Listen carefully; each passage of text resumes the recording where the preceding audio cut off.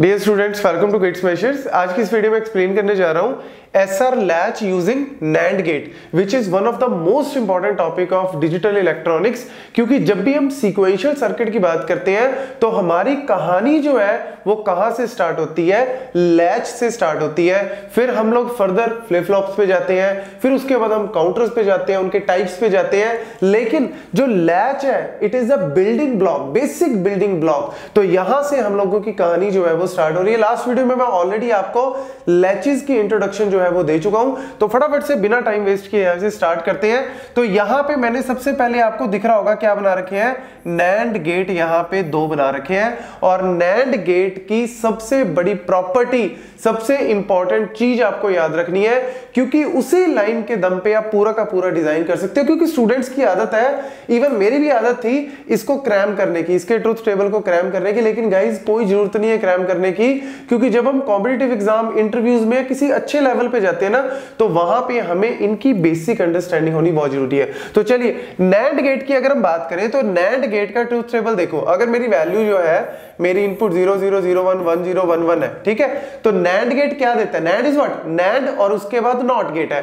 तो यानी ये वैल्यू क्या देगा? ज़ीरो ज़ीरो पे क्या देता है? वन देता है। वन देता है वन देता है और ज़ीरो देता है। तो यहाँ पे सबसे पहली इंपॉर्टेंट लाइन जो मैं बोल रहा हूँ, वो क्या है?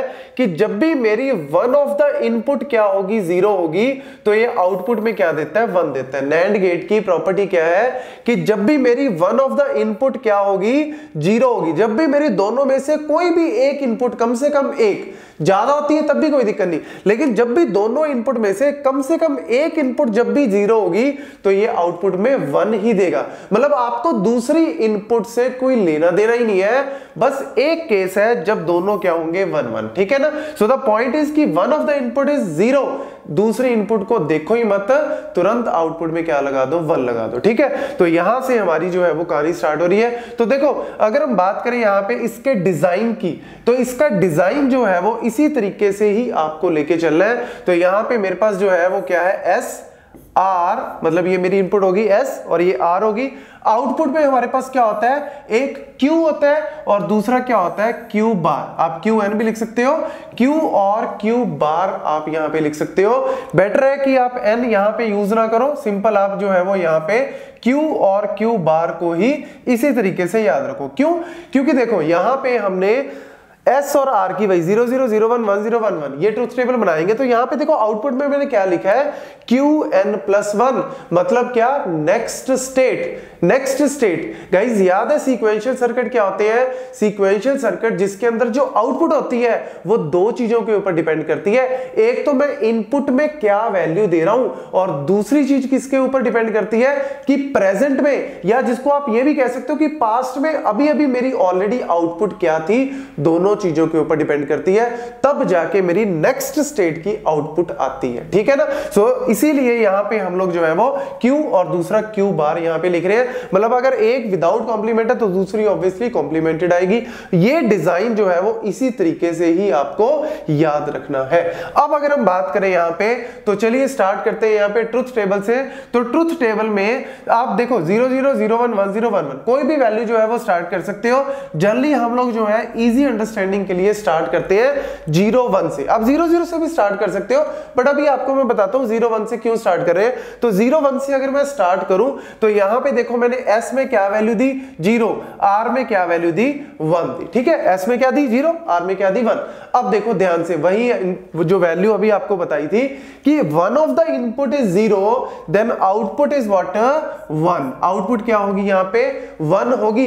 मेरे को दूसरी इनपुट अब आपके दिमाग में आएगा, सर यहाँ पे तो एक और इनपुट भी तो जा रही है। आपने इसके बारे में तो सोचा ही नहीं। भैया, मैंने अभी तो आपको बताया कि अगर एक भी इनपुट में मेरा ज़ीरो आ गया तो आउटपुट मेरा क्या होगा? वन होगा। दूसरी से मुझे कोई लेना देना ही नहीं है। हाँ इस केस में आप कह सकते हो कि, सर, इसमें तो देखना पड़ेगा। क्यों? क्योंकि one of the input is one अब दूसरी क्या है? अब देखो, अगर दूसरी ज़ीरो हुई तो आउटपुट में वन आएगा। अगर दूसरी वन हुई तो आउटपुट में ज़ीरो तो यानी यहाँ पे हम डायरेक्ट नहीं बोल सकते। तो गाइज़ आई होप कि यहाँ पे आप फॉलो कर रहे हो कि ज़ीरो आया तो तुरंत इसने क्या दे दिया? वन दे दिया। मतलब आपको यहाँ पे तुरंत जो है, वो क्या मिल गया? वन यहाँ पे फिक्स हो गया। अब देखो, ये वन जो है, वो एज ए फीडबैक हम लोग यहाँ पे दे रहे हैं। मतलब यहाँ पे मेरा क्या आ गया? वन आ गया ऑब्वियसली ठीक है ना? ये वन जो है, वो एज ए फीडबैक दे रहे मतलब क्यू की वैल्यू यहाँ पे आ गई और ये एज ए फीडबैक भी मेरा यहाँ पे जा रहा है। तो देखो, यहाँ पे मेरे को पता लग गया दोनों वैल्यूज़ क्या है? वन वन दोनों इनपुट अगर वन वन है तो आउटपुट में मेरा क्या आता है? ज़ीरो आता है। तो क्या ये वैलिड है? क्या ये सही आ रही है? तो देखो जी, आपकी क्यू की वैल्यू वन आ रही है। तो उसका कॉम्प्लीमेंट क्या होता है? वन का कॉम्प्लीमेंट क्या होता है? ज़ीरो होता है। तो वन का कॉम्प्लीमेंट ज़ीरो आ रहा है। मतलब ये बिल्कुल प्रॉपरली काम कर रहा है। तो यानी एस की वैल्यू मतलब अगर मैं ज़ीरो वन दे रहा हूँ तो मेरा यहाँ पे क्यू जो है मतलब आप एक तरह से कह सकते हो कि जो मेरी आउटपुट में आ रहा है that is what one clear है? आउटपुट में क्या आ गया? मेरा यहाँ पे वन आ गया। तो ये एक आपको स्टेप जो है, वो इस तरीके से क्लियर करना बहुत ज़रूरी है, ताकि आप बार बार इन चीज़ों को क्रैम ना करो और फ्लिप फ्लॉप में जाएँगे। जब आपको ये कहानी समझ में आ गई तो फ्लिप फ्लॉप आपको बिल्कुल ही इजी लगेंगे। देन नेक्स्ट अगर हम बात करें यहाँ पे नेक्स्ट केस में हमने क्या किया? नेक्स्ट केस में हम लोग जो है, यहाँ पे वन ज़ीरो यहाँ पे अप्लाई करते हैं। चलो जी वन यहाँ पे अप्लाई किया ज़ीरो यहाँ पे अप्लाई किया। अब फिर आपके दिमाग में घंटी बजी होगी कि सर यहाँ तो नहीं हम बता सकते कि आउटपुट में क्या आएगा, लेकिन यहाँ पे ज़रूर बता सकते हैं। यहाँ पे क्यों बता सकते हैं? यहाँ पे अगर one of the input is zero तो आउटपुट में क्या आएगा?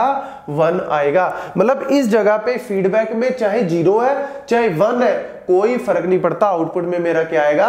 वन ही आएगा। ठीक है? अब ये वन ऑब्वियसली यहाँ पे एज ए फीडबैक जा रहा है तो वन वन के केस में आपको अब पता लग गया कि ये ऑब्वियसली आंसर जो है वो इसका क्या आएगा?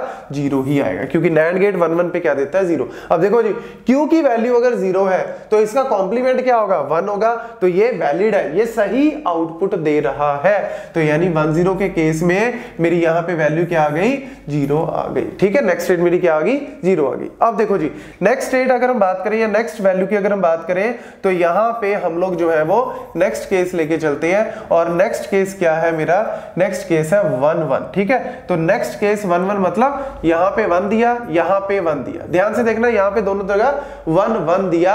अब देखो जी, दोनों जगह वन वन दिया, अब आपके दिमाग में आएगा, सर, अब आप कैसे फाइंड आउट करोगे? या तो एक जगह पे ज़ीरो लगाओ, फिर वन लगा के देखो, सारे केस लगा के देख लो। हाँ आपको बिल्कुल ऐसे ही करना है। आपको मैं एक जनरल तरीके से समझाता हूँ। देखो, यहाँ पे वन वन है। अब देखो, ये मेरे को पता है, ये क्या है? क्यू बार है। यहाँ पे मतलब जो भी वैल्यू जा रही है, वो एक्चुअल में जा तो क्यू बार ही रही है ना? क्यू बार ही यहाँ पे इनपुट जा रही है। चाहे वो ज़ीरो है, चाहे वन है। जनरल में अगर आप देखो जनरल फॉर्मेट में तो ये क्यू बार ही तो यहाँ पर जा रही है। और यहाँ पर देखो क्यू ही तो यहाँ पर आ रही है।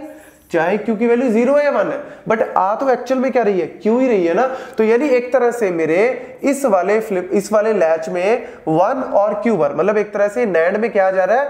वन और क्यू बार जा रहा है। तो आउटपुट में क्या आएगा? वन डॉट क्यू बार का होल बार नैंड गेट पता ही आपको क्या होता है? डॉट और फिर उसके ऊपर क्या लगा दो? बार तो यानी इसको अगर हम सॉल्व करें, ये वन का बार हो जाएगा। वन का बार प्लस क्यू का बार बार मतलब ये क्या हो गया? ये आपका जो है वो ज़ीरो हो गया, प्लस यहाँ पे क्यू हो गया। मतलब आपकी आउटपुट में क्या आएगा? क्यू आएगा। आपके आउटपुट में क्या आया? क्यू आया। देन अगर हम बात करें यहाँ पे, इस केस में देखो, यहाँ पे मेरी इनपुट में क्या गया? वन गया और क्यू गया, ठीक है? और इसने क्या कर दिया? इसका बार कर दिया। मतलब ये तो ज़ीरो होगी प्लस क्यू बार मतलब आउटपुट में क्या आया? क्यू बार आया। तो यहाँ से आपको एक इजी अंडरस्टैंडिंग बता रहा हूँ कि देखो, हम एक्चुअल में कर क्या रहे हैं या क्यों कर रहे हैं ये? तो मेरी एक्चुअल में आउटपुट क्या थी यहाँ पे? क्यू और अब क्या आ रही है? क्यू आ रही है? यहाँ पे क्यू बार थी? और अब क्या आ रही है? क्यू बार ही आ रही है? तो यहाँ से समझ रहे हो क्या चीज़ बताना चाह रहा हूँ? मैं बता रहा हूँ कि जो भी मेरी पहले आउटपुट आ रही थी, अब भी वही चीज़ मेरी एज इट इज़ आ रही है। जो पहले थी, अब भी वही चीज़ मेरी आ रही है। यानी इसको हम क्या बोलते हैं? होल्ड स्टेट बोलते हैं। क्या बोलते हैं? होल्ड स्टेट हम लोग इसको बोलते हैं। यानी जो भी पहले वैल्यू थी आउटपुट में, उसको ही होल्ड करके रखेगा, वही सेम देगा।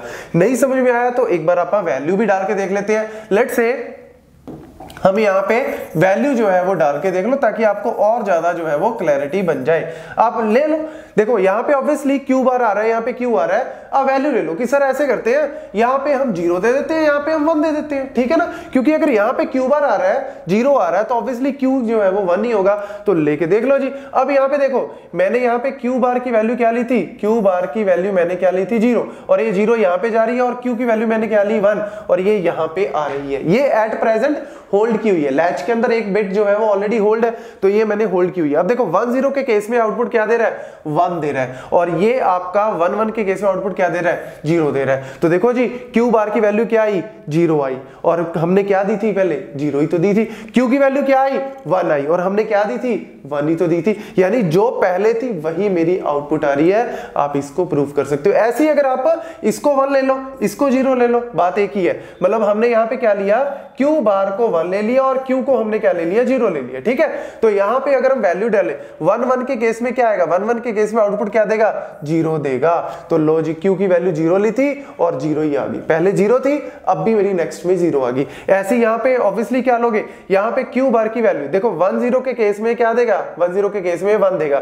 तो यानी क्यू बार की वैल्यू हमने वन ही दी थी और आउटपुट में वन ही आ गई। यानी ये क्या कर रहा है? होल्ड कर रहा है। और उसी चीज़ को हम इस तरीके से प्रूव भी कर सकते हैं। ठीक है?